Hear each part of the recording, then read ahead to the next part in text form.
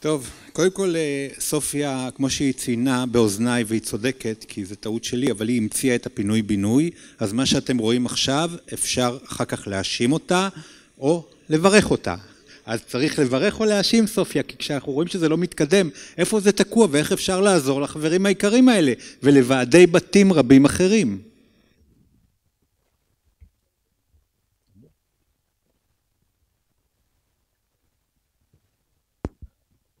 טוב, אה, אני במשך הרבה מאוד שנים אה, הייתי בתפקיד של מנהלת אגף תכנון ערים ויזמתי ערים כמו מודיעין ומזרח ראש העין וחריש ומה לא. בין עוד פרויקט שאני גאה בו יותר מפרויקט פינוי ובינוי שהתחלתי בו בעשר השנים האחרונות לפעילותי במשרד השיכון וגם כשעזבתי את משרד השיכון לא יכולתי להרפות ומצאתי חברה גדולה שחשבתי שהיא מתאימה, מתאימה לי, חברת אזורים, והמשכתי איתה ואני היום מעורבת בפרויקטים רבים מאוד ואני ממשיכה כל הזמן לחשוב איך לשפר את הפרויקט, איך לעשות אותו יותר יעיל בעיקר ואיך להיטיב עם התושבים. אז קודם כל לצערי יש, הפרויקט מצליח לדעתי מעל ומצופה בכלל כשאני רואה שלטים העתיד בפינוי ובינוי או סרט שהזרים עשתה עכשיו כשהעבירה תושבים מבית ישן לחדש ואיזה קשישה שכבר כמה שנים יושבת בכיסא גלגלים ולא יורדת וגרה בחדר אחד עם עוד, עוד שני נכדים פתאום יש לה חדר ויש לה מעלית. אמרתי זה הסרט שאני רוצה שתקרינו בתור ההספד עליי כן? באמת אני חושבת שזה פרויקט ש... לא היו רבים כמוהו שכל כך היטיבו עם הציבור הרחב ועשו צדק מדובר צדק חלוקתי מה היה בסיסמאות של רוטשילד אין עוד פרויקט שעושה את הדבר הזה ואתם כתושבים בוודאי מודעים לדבר הזה okay. אוקיי. אני קצת אני, אני קצת חושבת שצריך גם לעשות משהו למען אותם הדיירים שגרים בשכירות בפרויקטים האלה ואני אגיד לכם מה בפרויקטים שאני מעורבת בהם זה פרויקטים גדולים של פינוי ובינוי ובנוסף להרחבת כבישים ויצירת פארקים באותה הזדמנות גם מייצרים קרקע למוסדות ציבור. אם יש פה עדיין ראשי ערים אם לא באמצעותך בקרקע הזאת היום מותר לעירייה עצמה להקים סוגים שונים של דיור מוזל בשכירות בתי אבות מוזלים המדינה יצרה מנגנונים מתאימים ואני מציעה שבאותם הפרויקטים לזהות מי האוכלוסייה שגרה בשכירות ולהעביר, לתת לה עדיפות באותם הפרויקטים. ועכשיו שתדעו לכם למה זה לא קורה? כי אנשים שגרים בשכירות מצביעים עבור ראש העיר והוא יודע את זה. והם נגד הפרויקט. הם לא רוצים להפסיד את הדירה שהם שילמו בעדה מעט ואחר כך לשלם הרבה. ואין ספק שגם להם מגיע פתרון וכשראשי ערים הם יודעים את זה אני שמעתי את זה מהם וזה בהחלט יקל מאוד על, על תמיכת ראשי ערים שהיא כל כך חיונית לקידומם של הפרויקטים. וגם יעשה עוד קצת צדק חברתי. והנושא השני תראו אני מתמודדת עם פרויקטים מול ועדות מקומיות עיריות שקיבלו סמכות לאשר תוכניות לעומת ועדות מחוזיות. לא שבוועדות מקומיות הכל כל כך קל ופשוט כי הם גם די בתחילת הדרך אבל זה שמיים בארץ. בוועדה מקומית זאת העירייה אכפת להם מהפרויקט. אתה מדבר עם אנשים שמעורבים שהם קרובים אל הדבר. בכלל אתה לא אנונימי אתה אכפת להם בעיריות טובות לא פחות מה שאכפת לך זה שמייצג את התכנון מנהל פרויקט או היזם. וגם הם, הם מכירים את הקהל גם לא פחות טוב מאשר החברה שמטפלת בו. את הקהל אני מתכוונת של התושבים שהם חלק מהמהלך. בוועדות מחוזיות אתה אנונימי והדברים פשוט מתנהלים בצורה בצורה הזויה אין לי מילים. ולכן אז, אז אני וזאת הצעת דעתי ומשפט אחרון אני חושבת שגם א' להעביר כמה שיותר פרויקטים כאלה לאישור ועדות מקומיות עיריות ודבר שני אם לתת לכל פרויקט כזה מנהל פרויקט מטעם העירייה שפרנסתו תהיה תלויה באישור הפרויקטים האלה שיהיה לנו מישהו מבפנים שאפשר יהיה לפנות אליו ושהוא ידחוף את הפרויקט קדימה בכל הלבירינטים והמבוכים של הוועדות למיניהם. אז באמת אפשר לראות פרויקט שגמור וליהנות ולראות מה קרה במונוסון. באמת במונוסון סיימו פרויקט גדול שכונה שלמה שהתחדשה ודווקא בעיר שהיא רובה צמודת קרקע למרות שהתחברה ליהוד אפשר לראות באמת שיש כאן איזשהו שינוי אז חברת אשדר אתם עשיתם את זה אבל אשדר בוטיק בכל מקרה. תספר קצת על היתרונות תספר עומר על היתרונות לבחור בחברה גדולה לטעמך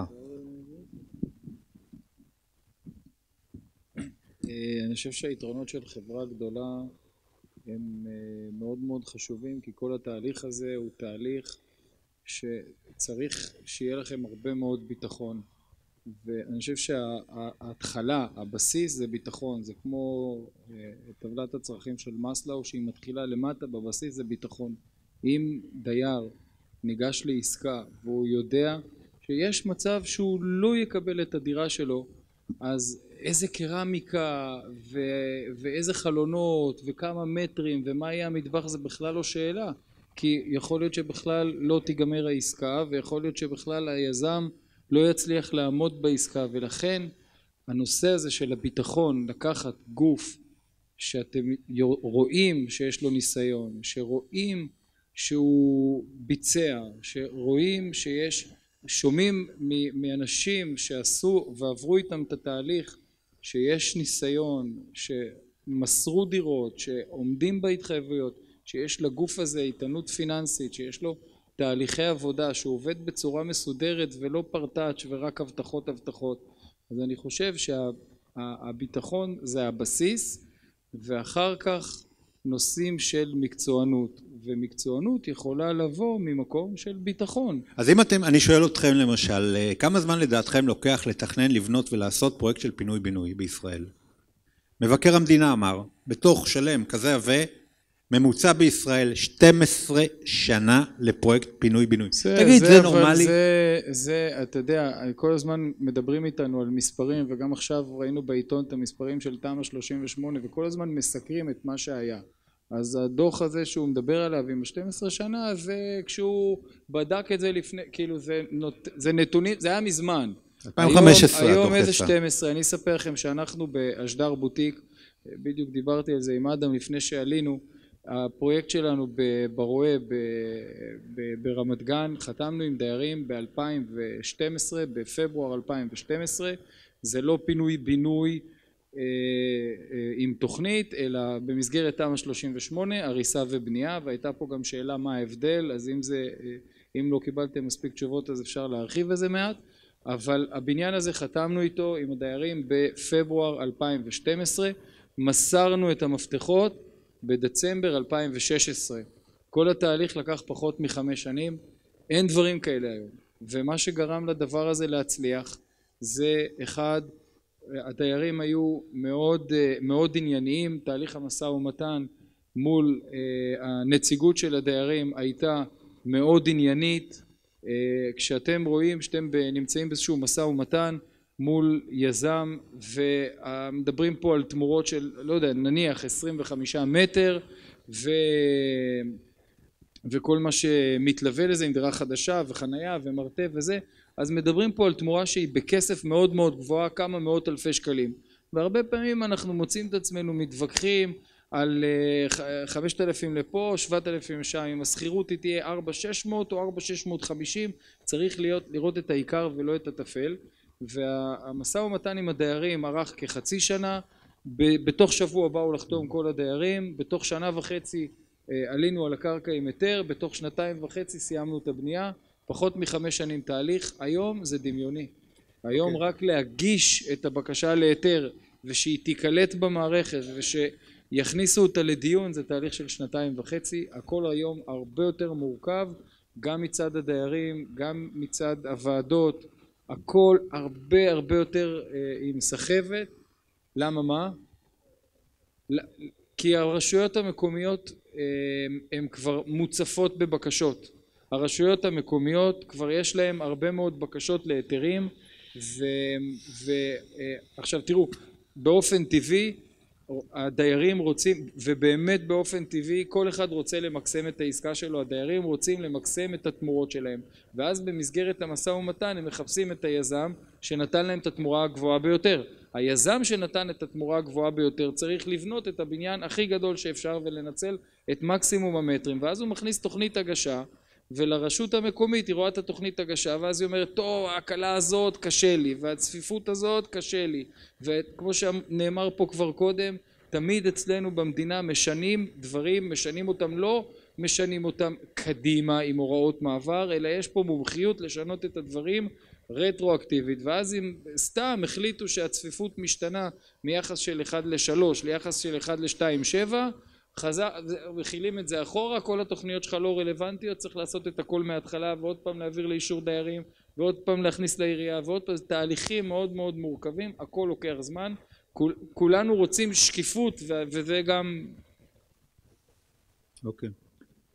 טווח, טווח הזמנים, טווח הזמנים של פרויקטים של פינוי בינוי בגלל, שאתה, בגלל שיש ריבוי של בניינים, ריבוי של מגרשים ריבוי של, אה, של אה, רשויות תכנון הוא 12 שנה זה לא, זה לא, לא ריאלי ולא ישים. אני לא מכיר ופרויקטים של אה, הריסה ובנייה במסגרת תמ"א 38 זה מאוד מאוד תלוי ברשות. אני לא רואה את זה קורה היום בפחות משבע שנים שמונה שנים התהליך שעד שאתה, שאתה מנהל משא ומתן אתה מקבל הצעות את, לא okay. אוקיי. הכל הכל כל התהליך. בוא נמשיך. אני רוצה לעבור ליהודה הרציג ברשותך. שנייה שנייה אחר כך שאלות יהיה לכם לרוב. לא שאלות בסוף. לא אבל בסוף גם הערות. לא לא בסדר. בסדר. אתה תשמע הכל תאמין לי שאתה תצא מפה עם כל התשובות.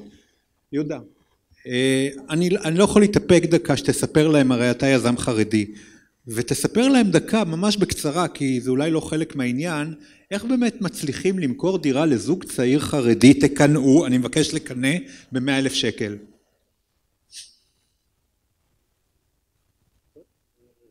שאלה לא צפויה יש אה, בעצם יש איזשהו פרויקט אגב נגעת לי בנקודה רגישה לפני כתקופה אה, יישמנו איזשהו מודל שבעצם אה, נותן את הרעיון של מחיר למשתכן שמה שמקפח היום את המגזר החרדי אני אגיד את זה ממש בקצרה כי זה פחות נוגע אה, והיום בעזרת גמ"ח קרן כלשהי בהון עצמי של פחות ממאה אלף שקלים ניתן לרכוש דירה בסדר גודל של משהו כמו מיליון שקלים כשבעצם אה, עשרה אחוז זה דרך הזוג הצעיר כמובן רק למחוסרי דיור וחמישה עשר אחוז עשרים אחוז נוספים זה על ידי הקרן בפריסה לשש עד שמונה שנים ללא ריבית. ולאחר מכן אה, מפה והלאה נכנס הבנק לתמונה. אה, חרטתי על דגלי ואני בעזרת השם מתכוון ליישם את זה זה החלום שלי לקחת את המודל הזה וליישם את זה כיום כמעט בכל פרויקט תמ"א 38 אז הנה עכשיו חזרנו לתמ"א 38 יש דיירים הם רוצים לדעת איך אתה יכול לתת להם קצת מהטוב שמגיע למגזר החרדי. לא אז כשחזרנו לתמ"א 38 אנחנו כרגע פה מדברים על מגזר כללי ולא שייך למגזר החרדי.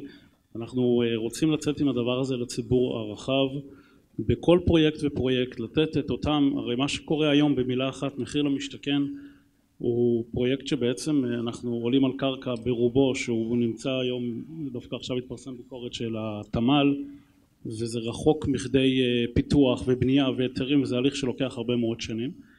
אה, קרקע למעשה של תמ"א 38 זה משהו שזמינה לבנייה מיידית. אני לא חולק על חברי אבל תכף ניגע בנקודה הזו בהמשך. איך באמת מקצרים את לוח הזמנים? וכמו שהוא אמר יזם שמתחייב להרבה מאוד דברים רוצה למקסם את המקסימום. אה, אני בדעתי אומר אנחנו מסתכלים רק לטווח קצר לא מחפשים למקסם את המקסימום. מי שלמוד ניסיונות יודע מה הרשויות היום לא יקבלו. אה, כמובן שיש פתאום אה, כמו שהוא אמר מחזירים תיקים אחורה אחרי שנידונו בוועדה ואחרי החלטות ועדה והתיק חוזר אחורה. אנחנו היום כן מנסים לדעת מה אפשר לקבל כרגע במצב הנתון כמה שפחות מינימום של הקלות אלא הכל מכוח תמ"א ופשוט לנסות לרוץ על זה כי הבירוקרטיה נכון להיום קשה מאוד. פשוט זה ואז אנחנו ניתן בסייעתא דשמיא ניתן גם את הקרנות האלה למחוסרי דיור שיוכלו לערב אוכלוסייה כי מה שחשוב לקחת בעניין של תמ"א 38 ופרויקט כזה אם זה תמ"א 1 או תמ"א 2 לאוכלוסייה מגוונת של כלל האוכלוסייה שבאים לגור זה מרקם טוב ומכובד וצריך לאפשר גם למחוסרי דיור לבוא ולגור אז מה, מה המסר שלך לאנשים שפה כיזם? המסר שלי פה מדבר כיזם לבעלי קרקע. יש פה בעצם אני הייתי רוצה לגעת, לגעת בנקודה איך ניגשים לדרך? שמענו פה היום אין ספור הרצאות ועוד מחכה לנו ערב. אה, האם צריך לגשת קודם לעורך דין קודם לאדריכל? איך ניגשים לדבר הזה אז אני אומר ואני אגיד את זה בקצרה זה קשה לזה אני הייתי נוגע אבל כן בשני נקודות בשני הכותרות. א' איך אנחנו נכנסים לזה? והדבר הכי חשוב כשאנחנו חושבים איך להיכנס אנחנו צריכים לחשוב איך אנחנו יוצאים מזה. הרי צריך לצאת מהפרויקט הזה לסיים אותו בסופו של דבר. ופה נכנס בעצם כל התמונה. יש את הנושא אני הייתי מתחיל דבר ראשון ולפני הכל נמצאים פה נציגים של ועדי בתים. גיבוש דיירים בבניין בהסכמה מוחלטת. תחסוך לכולם הרבה מאוד בירוקרטיה והרבה מאוד משא ומתן ואחד מושך ימינה אחד מושך שמאלה. אדרבה קחו את אלה שמושכים לכיוון ההפוך תנו להם תפקידים תיצרו אותם בתור נציגים תנו להם להוביל. מפה והלאה תגבשו את ההסכמה ביניכם ותבחרו את היזם תבדקו מה מגיע לכם. שימו לב דבר אחד אתם מנהלים משא ומתן מגיע לכם הרבה דברים שאתם כרגע לא רואים בעיניים שלכם ואתם לא רואים את זה בעיניים של קבלן. אני אתן לדוגמה נגע פה מישהי מקודם שאלה אה, במסגרת תמ"א 2 למשל יש בניין חדש יש מעליות יש הרבה חברת ניהול מגיעה גובה כספים לפעמים אוכלוסייה שאין לה לשלם את זה שלא הייתה רגילה לשלם ועד בית ואנחנו פתאום אה, מפילים עליה איזשהו תשלום איך מתגברים על הבעיה הזו? אה, דבר נוסף יצרנו בתמ"א 1 יש תוספת של ממ"ד תוספת של מרפסת הרסנו חדר בשביל ליצור ממ"ד עשינו חצי חדר בשביל ליצור מעבר הבית כרגע מקבל כמה סוגי ריצוף. אז מגיע הקבלן ואומר לנו אוקיי אז אין ברירה צריך לרצף את כל הבית.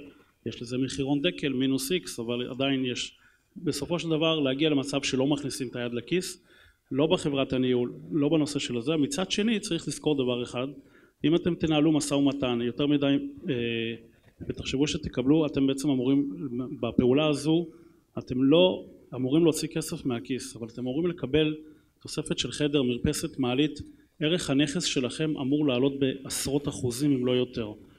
אבל יזם שבסופו של דבר הפרויקט הזה יהפוך לו לאי כלכלי אם הוא בא ופרש כי זה, כי זה אי כדאיות כלכלית סביר להניח שאותו דבר יהיה גם ליזם אחר. ומי שיספר לכם שהוא כן יכול ללכת על זה אז תבדקו את עצמכם בנושא הזה שוב. לאחר הגיבוש דיירים אה, צריך לשבת למשא ומתן לראות מה מקבלים תבחרו עורך דין משלכם כמו שהזכירו פה מקודם הזכירה פה עורכת דין אני יודע את שמה קחו עורכת דין לא שעוסק בדיני משפחה ולא מספיק שהוא עושה בדיני מקרקעין שיש לו ניסיון ויודע במה לגעת בתמ"א 38 זה מסורבל אני נתקל לא מעט בהערות של עורכי דין על הסכמים שעסוקים בנקודות בדברים שוליים ומעשה מזניחים את העיקר שאו שזה נתקע וזה פשוט יורד מהפרק כי לא מתקדמים או פשוט כי הוא פשוט מפספס את המומנט הוא לא יודע מה הערבות שצריך לדרוש או, או הפוך הוא דורש פחות מדי או שדורש יותר מדי ועל מה לעמוד ואיך לעמוד.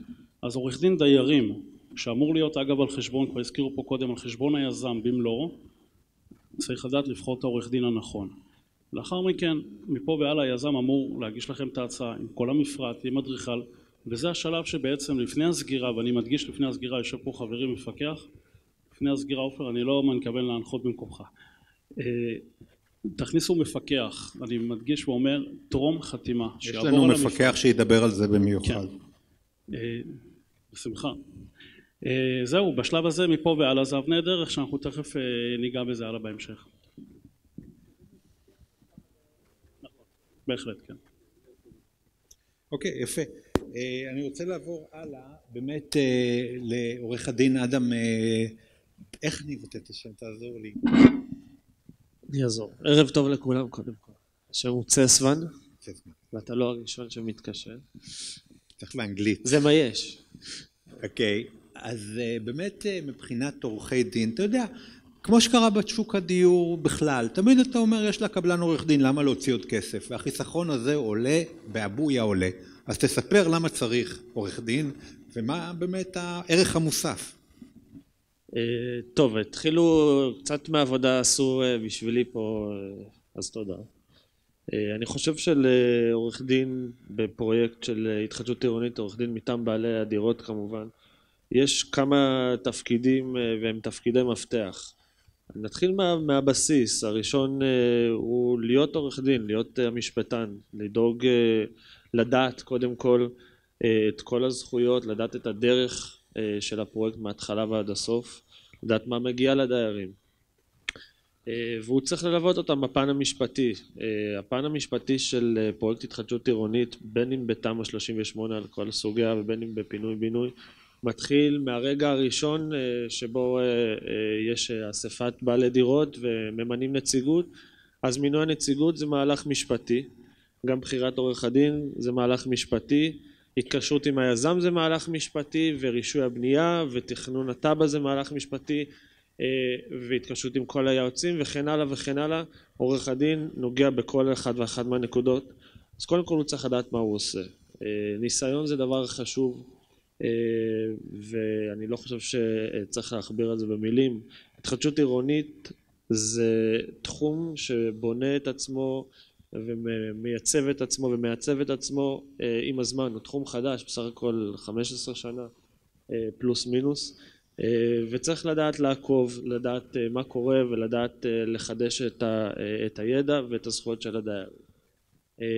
תפקיד נוסף שאני חושב שהוא של עורך הדין הוא להוביל, או להוביל את הבעלים קרקע כמו שאמרו בעלי קרקע יקרה מאוד שעושים את אחת העסקאות הכי מורכבות בתחום הנדל"ן.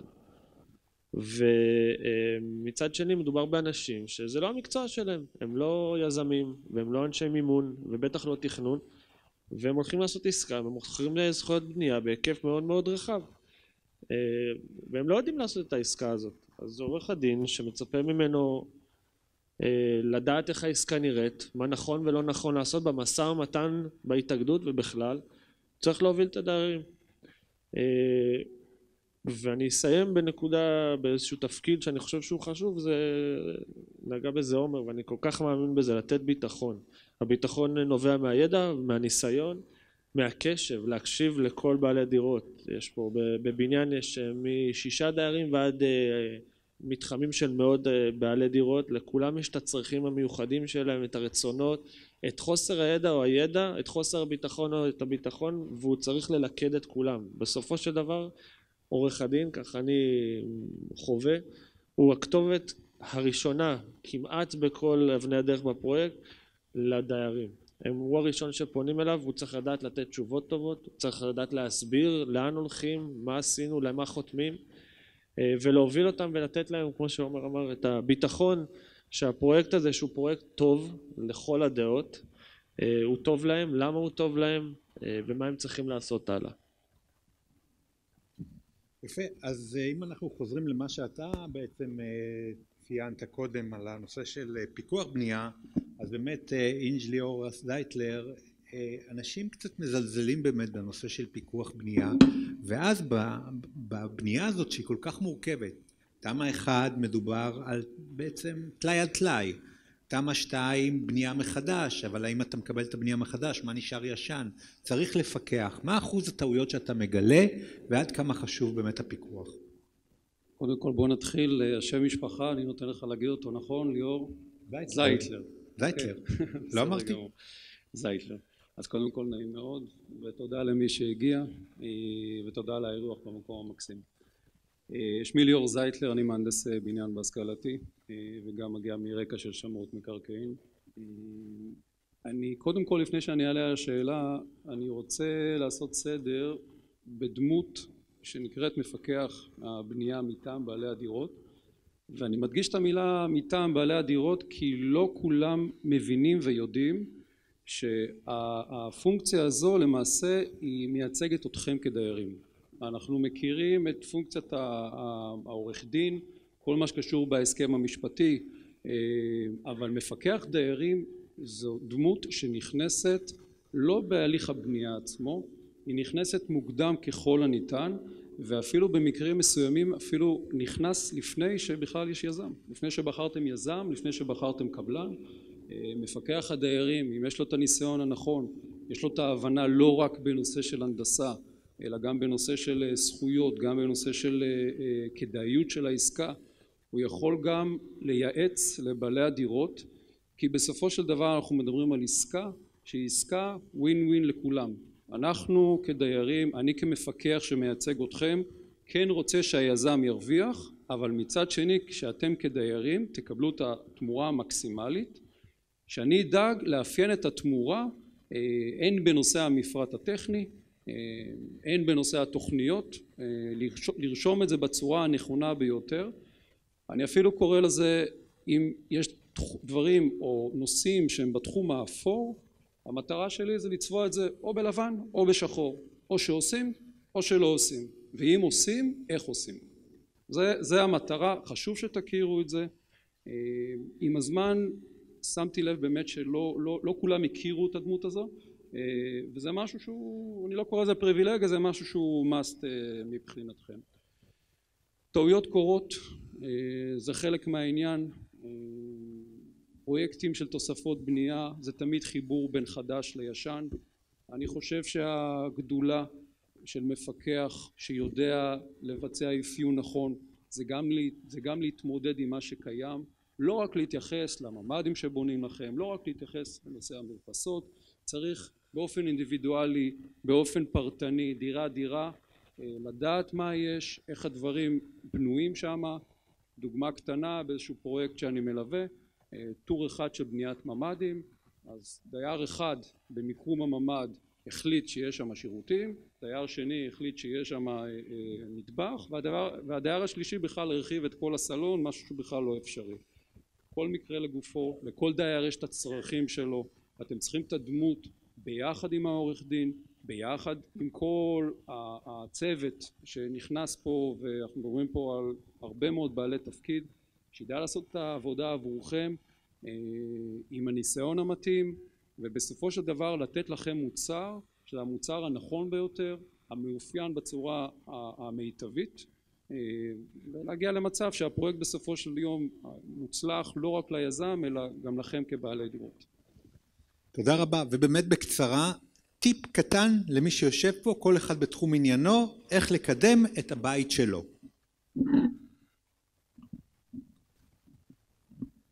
יש לי שתי מילים. אחת מהן זה סבלנות השנייה זה סובלנות. ואני רציני לגמרי התהליכים האלה גם הקצרים שביניהם לוקחים זמן לא תמיד אתם יודעים לאן זה הולך ואם זה טוב או רע. אבל צריך להאמין ובהנחה שבחרתם שותפים טובים לדרך מהיועצים שלכם ומהיזם כמובן אז סבלנות כי הם ידעו לעשות את העבודה ויקחו אתכם לכל איפה שצריך סובלנות זה כי בכל בניין יש כמה וכמה סוגים של אנשים וטיפוסים ורצונות וצרכים ואם אחד ידע לשמוע את שכנו להבין אותו לתת לו לדבר לתת לו לבטא את הצרכים שלו ולהאמין ששוב שהיועצים והיזם ימצאו לכל אחד את המקום ואת המענה בדרך התגברנו לדעתי על המכשול אולי המשמעותי ביותר. תודה. בבקשה. אני חושב שקודם כל אני מסכים עם כל מילה סבלנות בסובלנות זה תהליכים ארוכים וצריך גם כלפי השכן שלך וגם בתוך הבית לפעמים יש מחלוקות שאתם רואים יש שניים שלושה יורשים אחד מושך לכאן אחד מושך לשם צריך להיות מאוד טולרנטי מאוד סבלני בתוך התהליך הזה והוא בסוף קורה ואני אוסיף לסבלנות ולסובלנות אני אוסיף אמון. אוקיי תודה. בבקשה. אני חושב שאמון זה דבר שהוא מאוד מאוד מאוד חשוב בתוך המערכת הזאת גם כלפי יתר הדיירים וגם כלפי מי שעוסק בזה. טוב אני מאוד אופטימית לדעתי בתחום פינוי ובינוי התהליכים התקצרו. יש היום ועדה שנקראת ותמ"ל שאפשר לפנות אליה וגם זה תהליך כל כך מבורר גם לעיר גם לשכונה וכמובן גם לתושבים. אני מקווה שיהיו יותר פרויקטים של בינוי ופינוי, שעיריות יעמידו מגרש פנוי בפועל לטובת הפרויקט ויחסכו את המעבר הכפול. ומה לעשות? קודם כל קבוצת הבתים צריכה להתארגן. יש ביניכם אנשים שמנהיגים טבעיים מכל בית להתארגן, באמת למצוא לעצמם עורך דין שמייצג אותם, מישהו בעל ניסיון, ולפנות לגורם שאתם משוכנעים שיהיה גם קיים בעוד חמש שנים. כלומר, לגורמים שיקבלו ליווי בנקאי מספיק יציבים שילכו איתכם לכל אורך הדרך ואני מקווה שהיא תלך ותתקצר וזה כבר לא, כל דבר בהתחלה יש לו כשלי לידה, אני מקווה שזה ייקח הרבה פחות. תודה. כן. מחזק את דברי חברי הפאנל.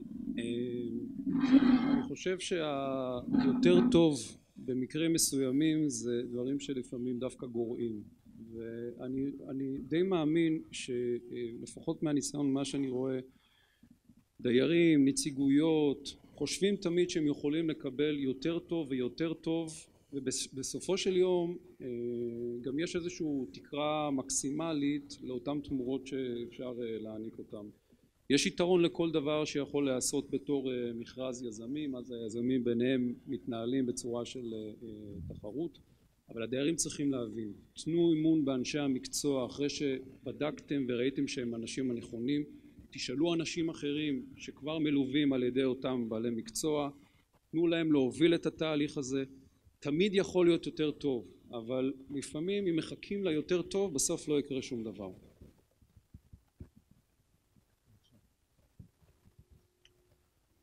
אז שוב אני רק בא להוסיף, לא חולק, ההפך. אני אומר שוב התקדמתם צעד אנחנו כבר שמענו אותם אין עניין לחזור על הדברים. תהיו מגובשים תבחרו את העורך דין הנכון תבחרו את היזם הנכון אל תחפשו את מישהו שמנסה לכבוש את העולם. תבדקו בעיקר את האמינות מישהו שיש לו סבלנות בשבילכם ושיודע לתת לכם את מה שהוא הולך ומתכוון לתת בדיוק בדירות החדשות. תחשבו על הכמות של הדיירים שהולך להיות בבניין אם צריך מעלית אחת או שניים ומה גודל המעלית ומה המהירות שלה וכמות הילדים שיהיו בבניין ואיך החזות של הבניין תיראה ואיך הלובי. שימו לב למפרט שלכם בתוך הבית שלא תהיה פחות מהדירות היקרות שאותם היזם מתכוון למכור. ושיהיה בהצלחה